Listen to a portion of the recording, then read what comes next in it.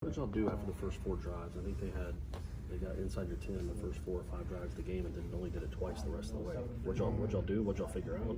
We just told told each other like we gotta stand tall and we gotta come come away with a victory. That's all. That's all we said. Are you pleased with what you guys were able to do red zone defense wise? I know you'd rather them not get down there, but you were able to tighten up. Excuse me? Were you guys able to, pleased with what you're able to do in, in the red zone defensively? Say what were we able to do? Yeah. Oh, we just told each other like they just because they get down here don't mean they have to score. So just stand tall, take the three. Is that something you guys can build on? Yeah, Getting, getting that is that? that is something we can build on as a defense. How do you how do you just bounce back from this as a team? You know, Uh, played just- pretty hard and pretty well, and you still come up with a loss. How do you bounce Just, back just got to come back to work. That's it. Just what you did, what you didn't do this week, that you can do next week to ensure victory. That's all we got to do. You had 14 tackles tonight. Did, did it feel like that many while you were out there? Did you, did you tell you were, you were getting a lot of them? Or? I didn't know. I was just trying to run to the ball, make as many as I could.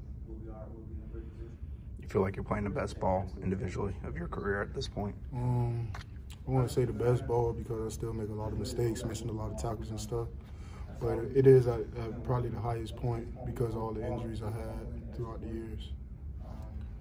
Is you're able to do to, to keep that running game in check? It like they had a hard time, particularly on first and second down. So all we did, we just harped on standing in our gaps and building a wall. It's not, it's not that much pressure on me because we lose. What do you feel like the potential of this team is still moving forward? I still, the, I think the potential is as high, like is, is very high. We just got to get out our own way.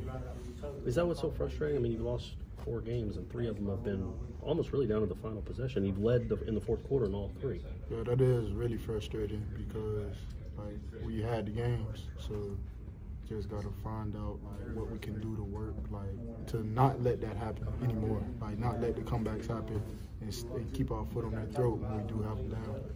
Do, do you guys feel it tightening up in the fourth quarter in games like this, though, when when it is a tight game on the scoreboard? When you say tightening up, As far as you guys as players, do you guys feel you know, Like, tense? tense? Yeah. No, because the fourth quarter is when we are probably like just, we feel the strongest because all the off-season work with Coach O and everything. We just we really come together more as a defense, you know, as, as a team in the mm-hmm. fourth quarter.